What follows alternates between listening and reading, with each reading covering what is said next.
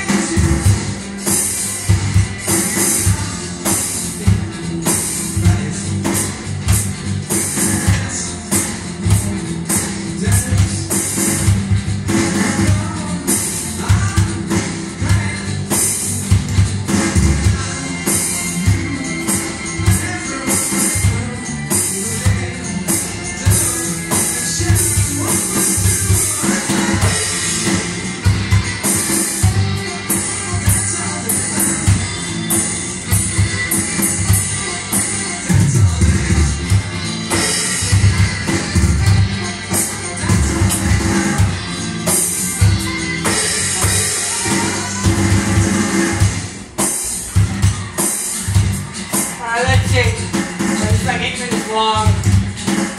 I'm gonna put it down.